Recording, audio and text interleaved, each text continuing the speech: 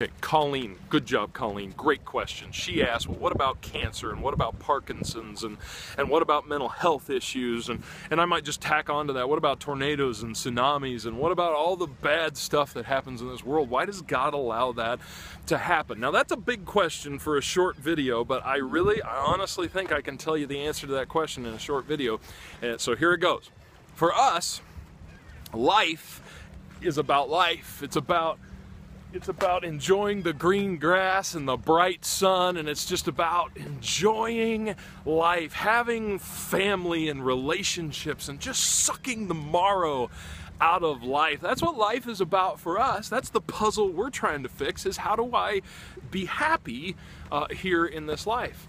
Listen, that is not the puzzle that God is trying to, to fix, to solve. He's He's not looking down and going, man, how can I give him everything they could possibly want here in this life? That's not what he's trying to do. Here's what he's trying to do. He's trying to use this life as a way to bring us back to him, to believe in him, to follow after him, so that he can give to us eternal life right? And you hear that and you're like, yeah, yeah, but what about, I mean, we're, we're such whiners. We're like, yeah, I guess eternal life, eternity in paradise, I guess that's okay. What about right now?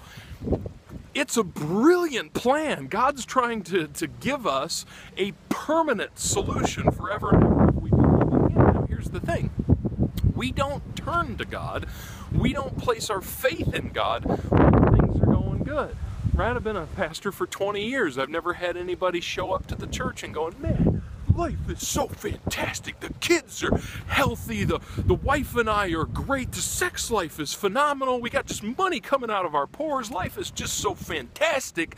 We thought we'd add God uh, into the mix and just see if it makes it even better. That's not that's not how it works. People return to the heart of their creator when they experience the things in this life that suck.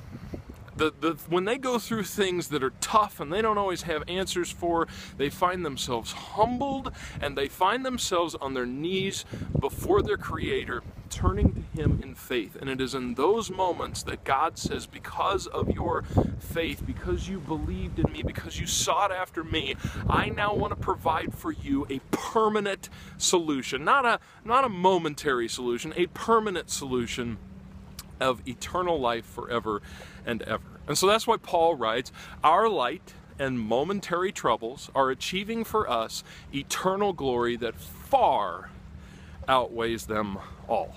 You might look at that and go, light and momentary? Have you ever lost a child? Have you ever gone through chemo? Have you experienced what I've experienced? Listen, I know right now it's tough. But if you put your faith in God and you believe in Him, I can promise you this if you go to eternal life and you look back on this life now, a thousand years from now, and you look back on this life and what you experienced, you're going to go, yeah, that was light. That was momentary, momentary, and it achieved for me eternal glory.